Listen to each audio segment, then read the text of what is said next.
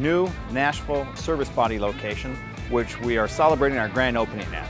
This location will allow us to better serve in a broader geographical base truck dealers, distributors, fleet operators in all of the surrounding states, and will also expand the chassis pool service and sales operations.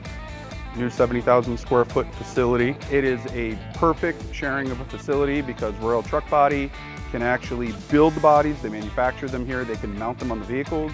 On the Strobes R Us side, we can then take those bodies and add emergency vehicle lighting, uh, work lighting, work area lighting to keep people safe. It was wonderful to be able to meet these customers, to actually be able to have them come over to here, meet each other, meet with us, see some of the vehicles that we set up for them uh, on an assembly line. We were very excited and appreciative to be able to shake their hand, tell them thank you for what they do for us uh, on their day-to-day -day job, and then thank you for trusting us with putting together a vehicle for them that they could be proud of and they can feel safe in on a daily basis.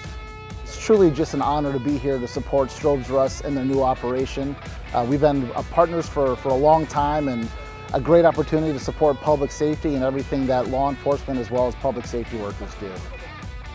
This is a wonderful opportunity to, to, have a chance to talk to them, really hear direct feedback from the actual customers that use the product in tandem with Strobes R Us.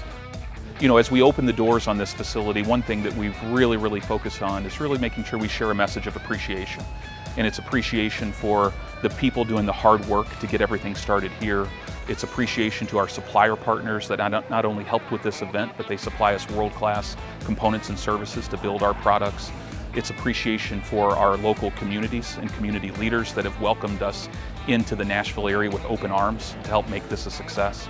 And last but not least, it's appreciation to our customers and our clients that without them, there's not a need for the site, but they've responded so, so well with demand, interest, and we're very, very confident in what we're going to do here.